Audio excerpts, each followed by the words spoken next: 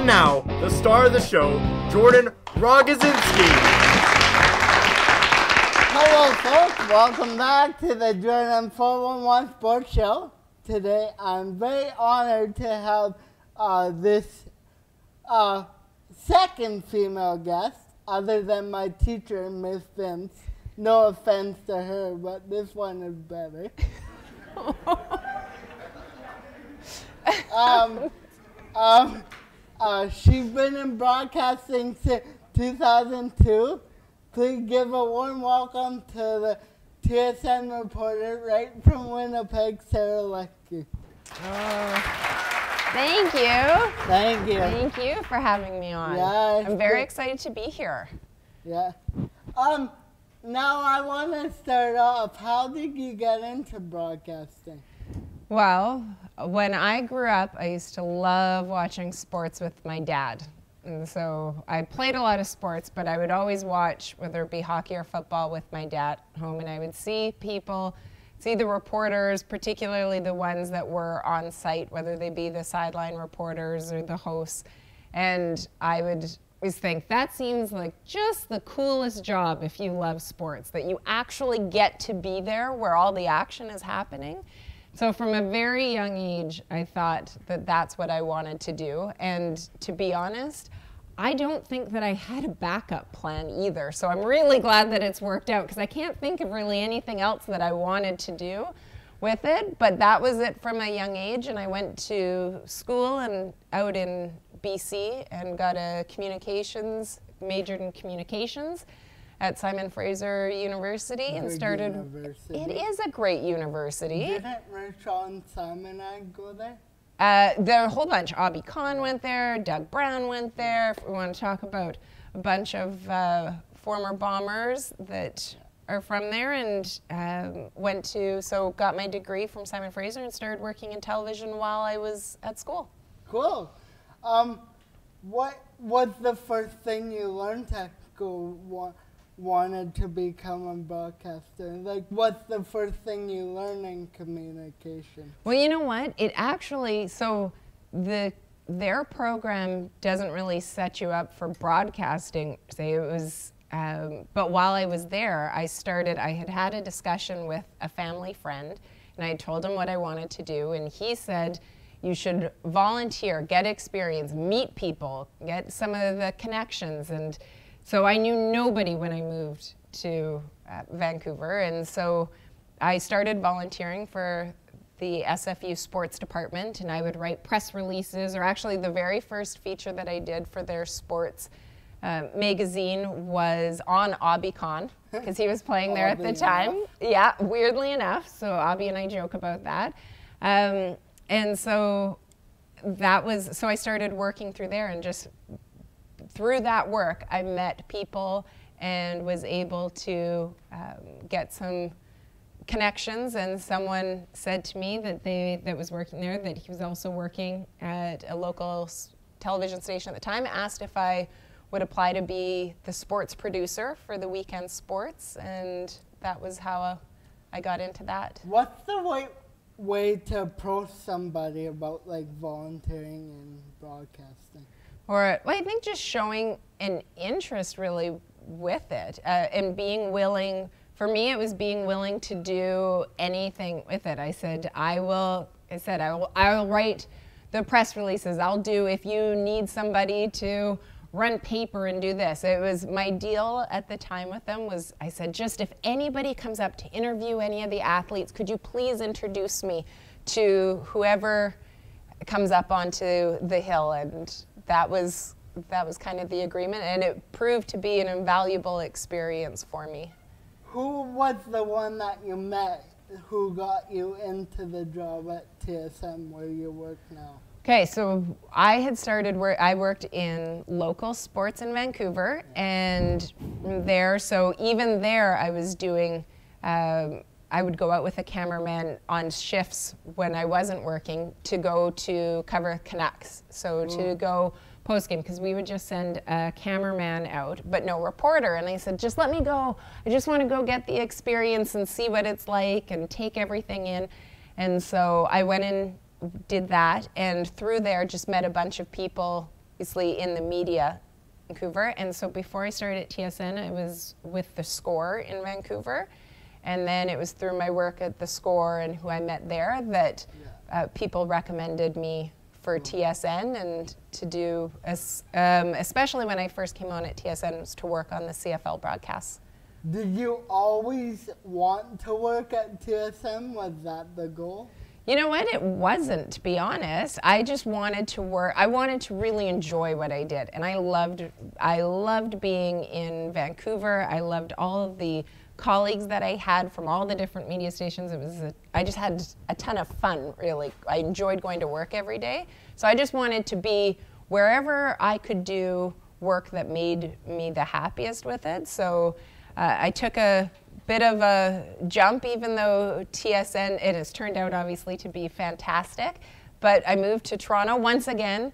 Didn't really know anybody when I moved to Toronto, but it worked out great. How's that? Because Toronto is a big city. It so sure is. Was that an adjustment from Vancouver to Toronto? It absolutely was. And I- Vancouver is such a big city too, but I'd gotten so comfortable there and then to move to Toronto. So I spent a lot of time on the road. I was the one that volunteered to go on the road all the time because I didn't know a lot of people. And even though I have lived in big cities, enjoy it, I still, I like smaller cities and I like being able to know you know, people around where I'm going all the time. I got lost constantly, Toronto. So what you probably don't remember is that before all of whether it be phones had Google Maps on it and the GPS, and I didn't have a GPS in my car, so you use something called MapQuest, and so and then you would print it out from the computer, and so I so I couldn't divert from where I was going,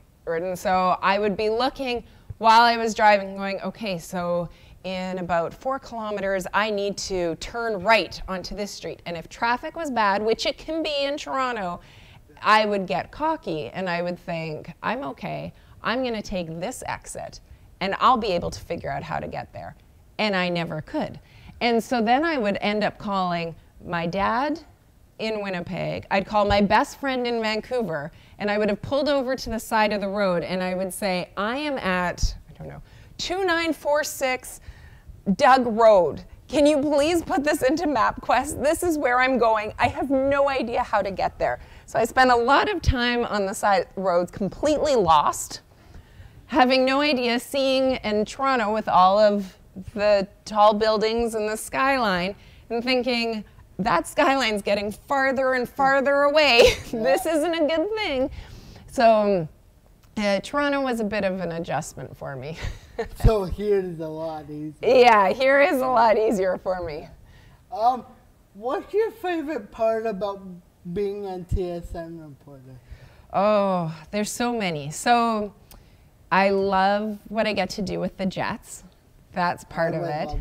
Too. Yeah, it's a lot of fun having the fact that we get to broadcast the games and we have our pregame show that we do uh, here on site as well. So that's one of my favorite things. I obviously love my football family and all the different things that I get to do there, but I just I love the people that I get to work with. We have some pretty fantastic crews that are the same people have worked on the same events for a number of years and so it feels like a mini family. So I love being around them.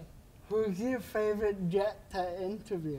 Oh, you're going to try to get me into trouble, aren't you? Yeah? Hmm. You know what? There are a lot that are really good, but I there's some. Josh Morrissey's always great. Um, Andrew Copp, Lowry, but there's no complaints. Any of them. They're all. Patrik Laine's really funny. They're all really good. Yeah. Um, do you, you, when Tyler Myers was with the Jets, when you would interview him, you uh, had to look up at him, right? and I always said that um, you still look funny. so, Well, you know what? I, it was always so when I would. So I often wear.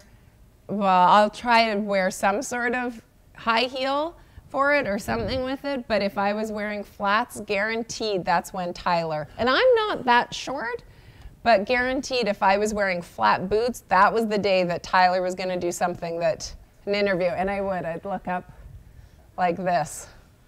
Um, what's the coolest story that you have working for the Jets? Oh, covering them? No. We've done a lot of fun stuff with them, but we have, you know what? I don't know if I could even, I'd have to, Would Finland be Finland was very, yeah, Finland for sure would be a lot of fun. the It was- playoff? It was very busy. The playoff rounds were, see, you don't even need me. You can tell me all of my favorite ones. This is, the playoffs were great. the breakup. The playoffs were the playoffs were a lot of fun. It was tiring. We spent a lot of time being in airports, everything like that. But to be able to see, think about the cities when they went to the West Final. that do Minnesota. So uh, St. Paul is a great hockey market. They're passionate fans. Nashville was an experience and like anything else, and they've is so that was crazy. And then to go see the spectacle of Vegas, it was quite it was quite the run. I love the chat that they do when Nashville scores. They said, "How luck? It's all your fault!" And the arena went all scream, and I For thought it. that was cool. For it, they have it is a loud arena, and those yeah they get on it. They've got bands going a time. It was yeah it was quite the experience. Um, what's the biggest airport you've been in? Oh, probably over in some of the ones in Europe. When I was still, I did the, I covered the 2007 World Juniors that were over in Leksand and Mora, Sweden, um, where Canada won gold that one. Um, and uh, so probably some of the airports going through there would be. Otherwise, there's always like Chicago, uh, O'Hare, but probably over in Europe. Those ones were a little bit more challenging. What is the best city to be in in the NHL? Ooh. Since we're talking about airports, Since okay, so you want just city overall? the city overall. My favorite city would probably be New York. New So, York, Yeah. I love I love going through it. For a city as a whole, I love New York. You don't mind the busyness? No, which is funny because I usually so I covered the I spent a lot of time in New York, especially during the last lockout. I was always there, including over New Year's Eve, and we were a block from Times Square, where the ball drops. So you can imagine how crazy and chaotic it was. And Jordan, guess who slept through the ball dropping? You? Yeah. I, I think I went never to- make New Year's. Okay, thank you. That makes me feel better. I Except don't this year. Oh, did you? Oh, I didn't.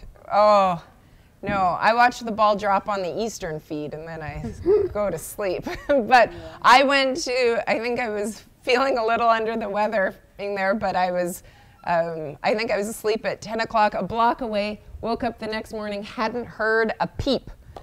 A block from where the ball dropped. I, everyone that I was there with was showing me pictures afterwards about trying to get out there because they shut down all the streets, and to get in, you had to show your hotel card and all sorts of stuff. Totally oblivious to it. One block from Times Um, Square.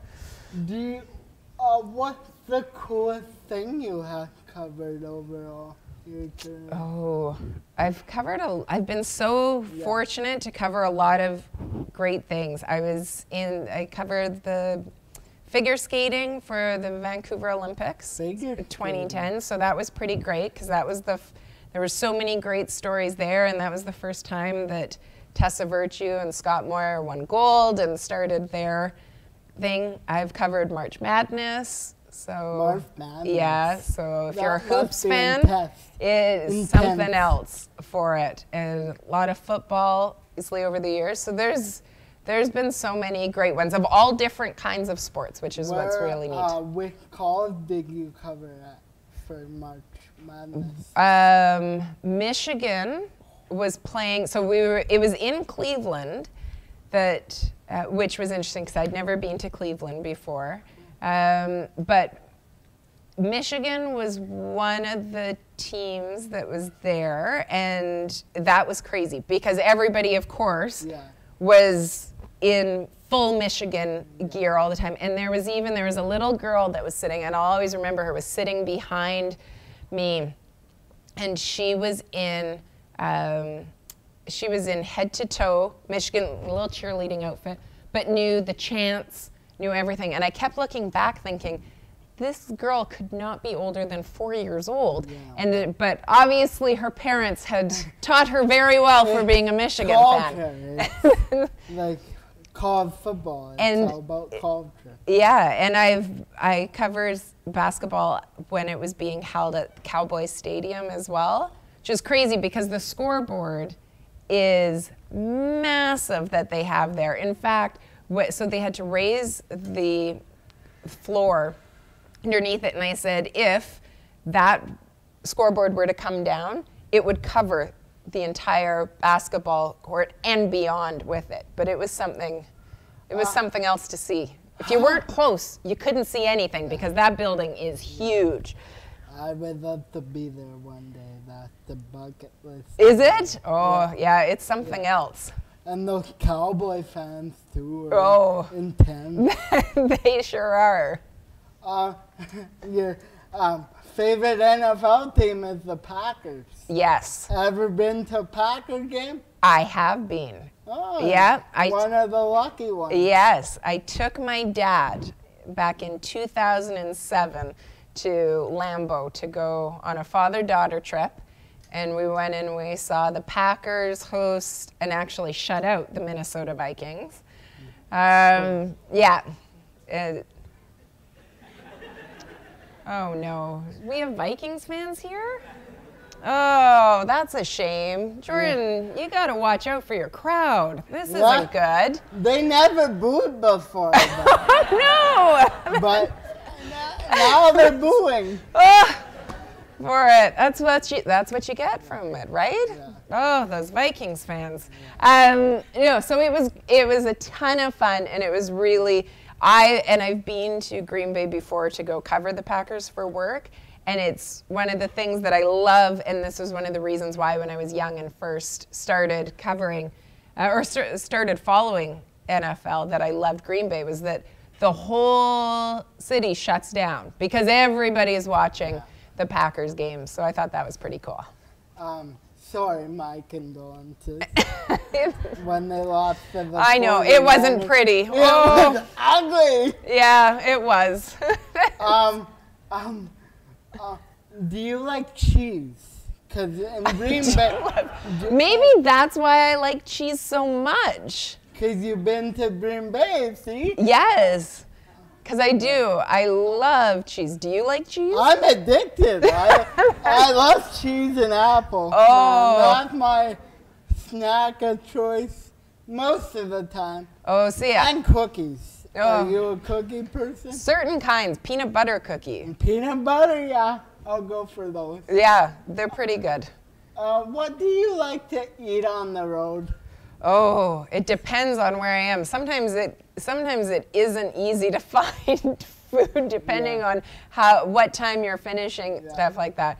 Usually, honest, I really like places that you can go where they make your own where you can say make your own salads or do stuff like that. So you're not a junk food. Well, sometimes I'm not going to tell everybody I'm a junk food fan, Jordan. Don't out me like that. Like no McDonald's twice. Shh.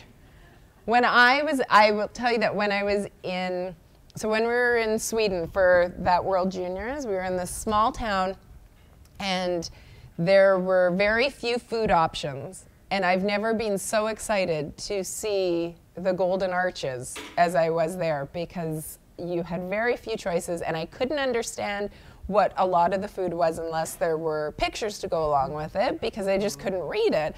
Um, so I ate a lot of pizza because I could. There was sometimes a pizza place across the street from the hotel that was open, and I could figure out enough to be able to say I will take that pizza, or maybe I would go to McDonald's. I don't like pizza, so I would What? go to McDonald's. you don't like pizza? I don't like pizza. Oh, Jordan, you don't know what you're missing. I know. I just said to someone the other day, if I was stuck on a deserted island, I might ask for pizza to be my one food. See, I would ask for burgers. Oh, That would be mine. okay. Well, mm-hmm. those are really delicious Yeah. too. I get that. I, just, I don't know. Maybe it's the sauce. But it's the cheese. How do you not like the cheese? I like plain cheese. Oh, Yeah. for it. Poutine, I like anything else with cheese. Cheese for it. Except that. For it. Well, you might be the perfect person to go for lunch with then, because I wouldn't have to share my pizza. Oh, yeah. Oh, yeah, I am. I went to lunch with Joel. Joel Did you? I love Joe. And um, he brought me to the Pafoys. Yeah. And I ate like mad there. it was so good. Shout out Joe. That's absolutely shout out Joe. Yeah. He's one of my absolute favorite people. What, um, like you have a daughter I do. uh, who is into swimming. Yep. Um, and does she have? I know she's young, but does she have um, plans to take it professionally, or Well, you know what? She swims a lot right now, but she swims and dances and Oh, loves. Yeah, lot. so she does. She's a lot. She does a lot. Volleyball and basketball. So we'll see. But right now, I spend a lot of time at the pool. Mm-hmm. uh, do you like the pool, or sometimes not? Sometimes. Well, sometimes it can be really hot Mm, and humid in there. I don't like to swim myself, so. But I like. I love watching her. Whatever she Never does. learned or what? No, I learned. I, I tried to get out of swimming like lessons it. as much as possible, though, as a kid. I always found a reason to What not did go you do? for it. Well, I used to make up excuses all the time when to try to not. I just what didn't like swimming. Excuses? I don't. Again, why are you trying to get me in trouble? What if my parents watch This this? is what I do. this is not good.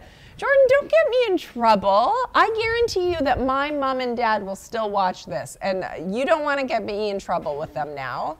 Sorry, mom and dad. That's right. Mom and dad, I never made up excuses to go. I always loved to do swimming lessons. They probably know you did. for it, maybe. Maybe. Um, do you um summer coming up Yep. soon? Are you excited for the Bombers? I am excited for this CFL season. Very excited. I love football. So, uh, I mean, I love hockey too, but one of the things that I'm always excited about with football is that with hockey, obviously, I'm inside Yeah.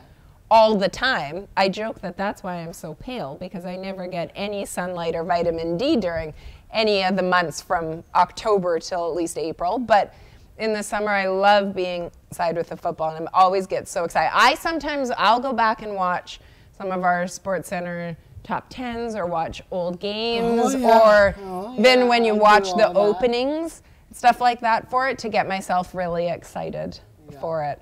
Um, what's um your best person to interview Winnipeg Blue Bomber was? Ooh. Um, well, I mean, was or current or current. So, I they, you know what? They have a lot of really good ones. Uh, current ones probably. I mean, we obviously we interview Andrew Harris a lot Yeah. during a broadcast. Stanley Bryant's a lot of fun to interview as well. how about Jamarcus? Is he? Cause he seems fun. It- for it, he does. But can I tell you that he used to scare me for Well- it because well, he's very intense. He would scare me too. Yeah. Lining up prostitutes. Could no you? way. No way. No, thank I you. would duck myself. for it. Very, you know what? He's uh, and he's very friendly, and he's got the cutest kids and family and everything like that. But I always joke that he's he's an intimidating one. Have you ever done Medlock before? I uh, well, not during a game. I mean, I've talked to him Yeah. off um, practice days and stuff like that. Because I find kickers are unfolding my Troy Westwood or a different breed. like they're kind of odd. Yeah. So is he like different? Like Well, I Yeah. mean, he's a kicker, right? yeah, he's a yeah. kicker. Kick ball for a living. but he is meticulous in his preparation. I've never seen um, I've never seen a kicker take it to the degree that he has, but that's why he's one of the very best at it, right? um, and Mike O'Shea brought him back. He Yeah. was gonna be done. For it. So, yeah. I think Chad Rample had a lot to do with it. You think so? Yeah. For it? They're quite the team, those ones. Yeah. And um, Willie Jefferson. Yes. I have to. I have to because he recently signed a two-year extension. Which so- I know you're very happy yeah, about. I am. Absolutely. I was nervous that he was gonna go to the Dolphins, yeah. but uh, I I knew the chances of him going were slim, uh, but I would have been happy either way. Yeah. But I'm super happy he's back. Yeah. Oh, I think it's going to be huge for that line to be able to have him back. Absolutely. And Michael Holloway, Yeah. that's another big one For it. who we recently signed. Yeah. More depth at linebacker. Yeah. For it. Yeah, it'll be interesting to see. There's a lot to be excited about. Not just, I mean, I know that you're a And huge Tor- Bombers fan, And Toronto but there's a lot to be excited about with this CFL season. and Ottawa. Yeah.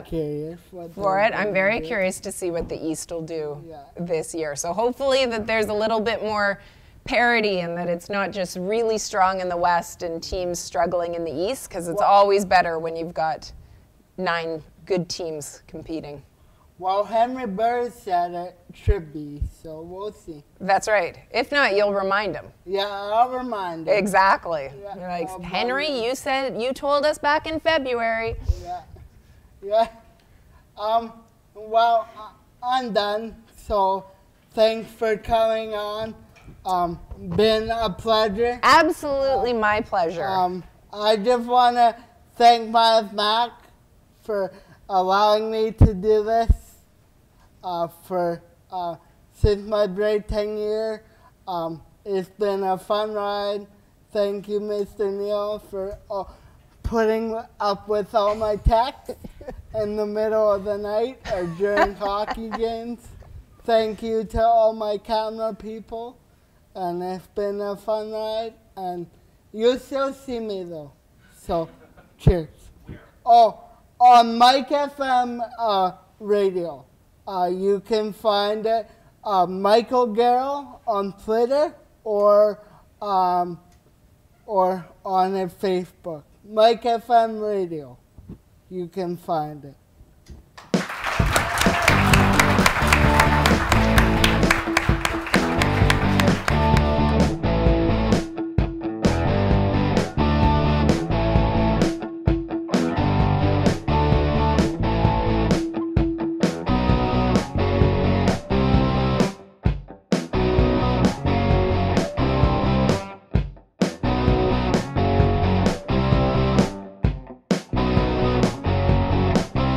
Please like and subscribe to Jordan's YouTube channel and follow him on Twitter.